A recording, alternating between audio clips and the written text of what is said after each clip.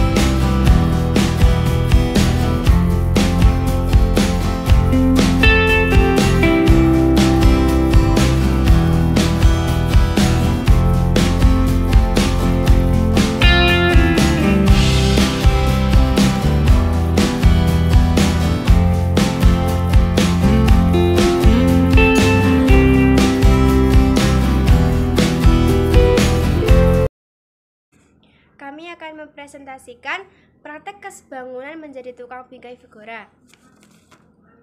Ukuran gambar panjang 9 cm dan lebarnya 13 cm Lebar kertas di kiri, kanan, dan atas gambar yang tidak tertutup 2 cm Lebar kertas di bawah gambar yang tidak tertutup gambar 2 cm Ukuran kertas figura panjang 11 cm dan lebarnya 15 cm Sekian presentasi dari kelompok kami. Jika ada salah kami mohon maaf. Wassalamualaikum warahmatullahi wabarakatuh.